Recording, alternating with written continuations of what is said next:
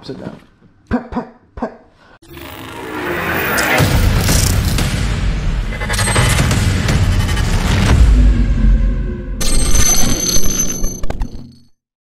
What is going on, my fast, fast friends? Z900, and I have another bike. This is my other bike right over here. Right over here. Well, right, right over here. Uh, it's an Aprilia RS660, acid gold. Oh, it's actually in the shop again. We will talk about that later. Today, I wanted to talk about the Insta360 that I just got. And here's a little unboxing. I haven't really like opened it. I This is the camera. and uh, um, I need something. I need something. I need something. Bam! there that's exactly what I need for this job to open this Insta 360 so I went ahead and got it I've been wanting to get it for a long time and I just decided to pull the trigger and get it because it's gonna make creating videos so much easier if I can open it.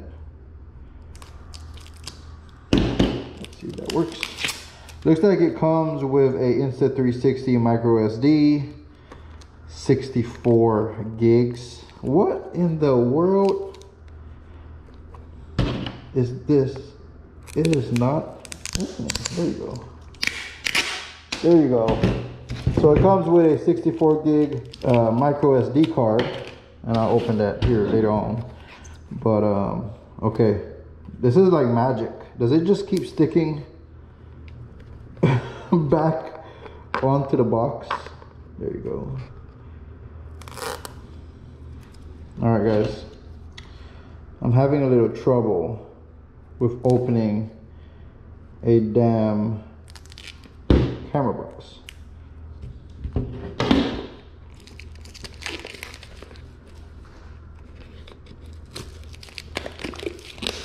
there you go. So I wanted to get the Insta360. I've heard a lot of good reviews on it, but I didn't really know much about it. Um, a lot of people were talking about it. A lot of people were, set, were using it to make little short videos. A lot of people were using it for moto vlogs. So let's take a look. Insta360 One X2 Pocket 360 steady camera.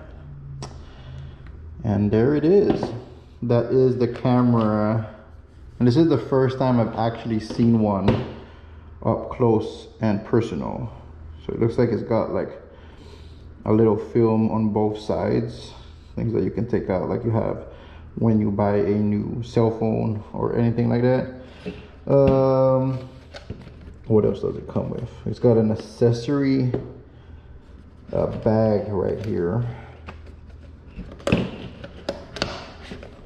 says accessory bag. And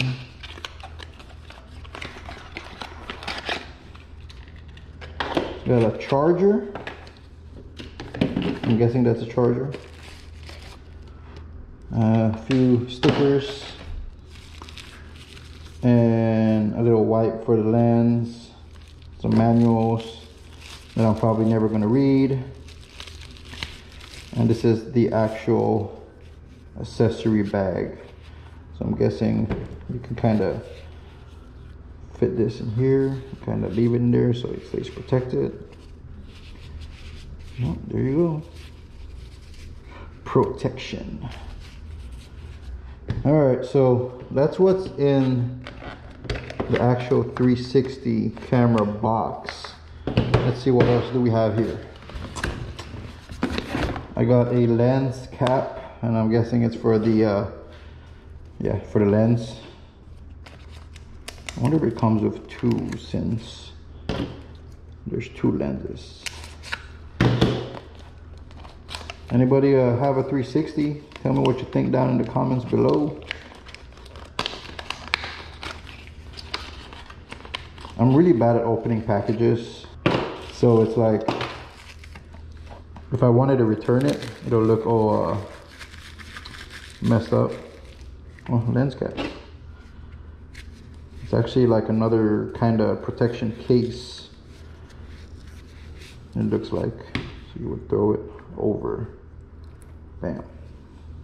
And then you can put it in here. Just kind of cover it down so it's actually safe. Uh, because I am a motorcycle rider and I am a moto vlogger, I decided to get the Insta360 motorcycle mount bundle. Now, I have heard about this bundle, but every time I go and look at it, it seems like something changes. Like it says back here, comes with a helmet mount, handlebar mount, and a tail mount. I think the last time I looked at it before, it had like a little selfie stick or something like that. I don't know. I may be wrong. And I think it does have the handle mount, which I may use either on the bars or on the actual grip. So it comes with a lot of things, a lot of little uh, grips and stuff like that, a lot of, um, yeah, you know, everything that basically you need for a GoPro or you can use for a GoPro. And that looks like the handlebar mount. Looks like it connects to that. I always wondered how sturdy these things were, but when you see people use them, they seem pretty sturdy. So let's go ahead and clip that on. And it looks like this may clip onto a handle. So let's let's give it a give it a go. There's not a lot of room on the Z900 for a handle, I'm guessing, or like a, for this, but like right here might work.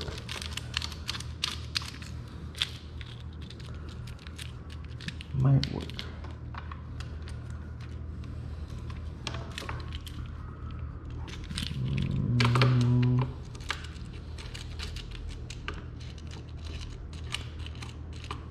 And these things are supposed to be really, really strong. Yup, I can, I can kind of feel how it gets tighter and tighter. So that, that may work. I've even seen some people take it out and kind of put it on here, but I really don't want to do that. And then this thing can kind of cruise around right there and then you could put the 360 right here. I think that would be pretty fun. I think that would be a pretty uh, awesome point of view. And it, it seems pretty sturdy. Not gonna lie. Seems pretty sturdy. So again, like I've seen some people, I've seen some people even put it on their uh, mirrors. So let's, let's see how that does.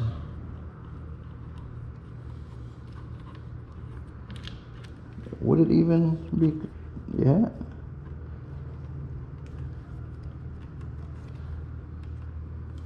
So I don't know. No. It ain't gonna work with the mirrors. It's a little too loose. I've seen people do this where they put it right on their bars on their grips. But again I don't know about not having, you know, it is the brake side, so it's not too bad. There's no throttle here. The throttle's on the other side, obviously. So it's not too bad, but I still rather put it on a bar if I'm gonna use it on the Z900. So let's take that out.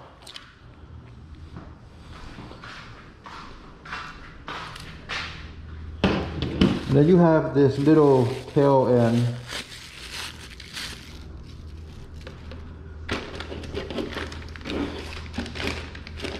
Where if you wanted to you can stick that right there. You can probably take this and stick that right there and then you have a little swivel area if you wanted to stick it on your tail if you have a cowl.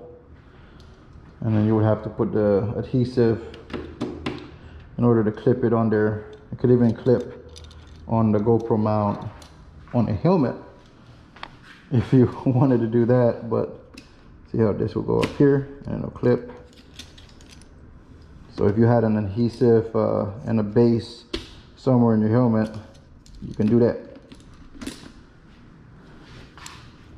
Pretty cool stuff pretty cool stuff I gotta admit. I um I've seen a lot a lot of videos of these things and it just got me thinking that I can do a lot more creative videos instead of uh, POV or a point of view uh, camera. If I have this, I can do way, way more. Um, I can catch a lot of things that maybe the GoPro wouldn't catch.